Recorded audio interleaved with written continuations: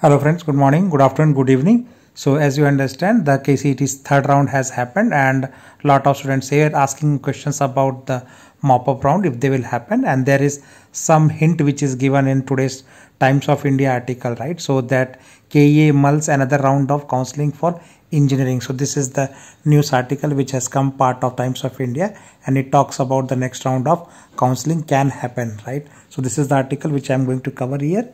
So if you can see here, it says that's likely to hold one more round of counseling for engineering courses to fill the vacant seats, right? But this counseling is not going to be online. It is going to be offline. That is, it is going to happen in the KEA office, which is in Malleshwaram, Bangalore.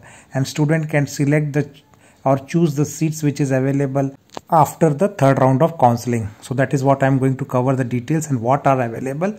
That is the important thing. So before that you know that right the last date for admission process was september 15th right? And after that k before that KEA has gone to supreme court and they have taken extension from supreme court to conduct engineering counseling up to october 15th so that way date wise we are safe. 15th october is still lot of time and they can do classes. Only thing is that lot of colleges have started their classes already right?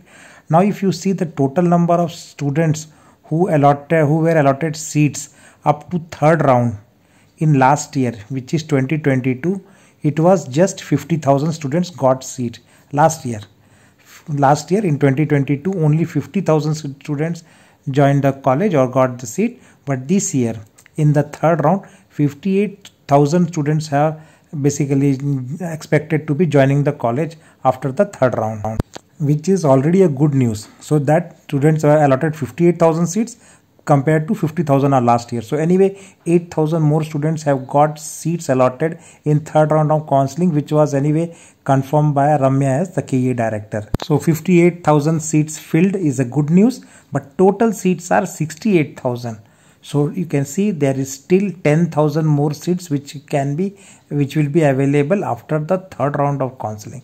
That is why you know this plan of having an additional round of counseling came in picture and this second extended round result came late night on Wednesday, right? There, and there are post seat allotment dates which students to need to provide uh, the DDs and they have to create their challans, do the fees payment, and then based on the fees payment, they will be able to download the admission order and uh, then join the college. So there also it is expected that 3000 students will not be able to do that because they don't wanted to join the college. So those 3000 students who don't join the college plus this 10000 vacant around 13000 seats can be created. And th that is the reason for the new round of counseling which can happen by KEA but this will be offline counseling and as and when I get more details I will share the details.